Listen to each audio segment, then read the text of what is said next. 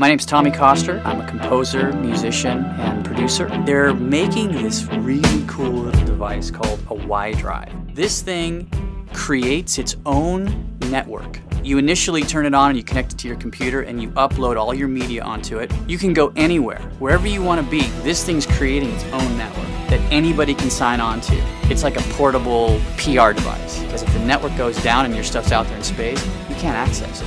This thing you can access anytime.